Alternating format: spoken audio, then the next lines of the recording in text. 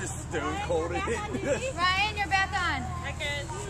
Ryan, you're going to come to her left.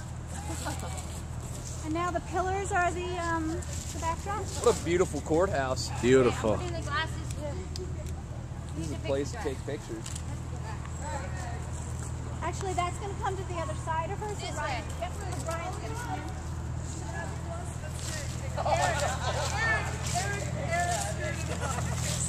Eric, damn it! I know.